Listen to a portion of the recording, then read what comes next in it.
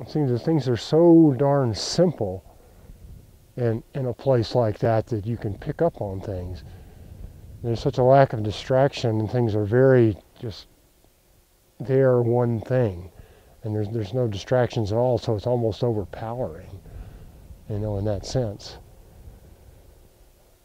I can see how you can find that in, in high places. It's almost like it matches the high places in yourself.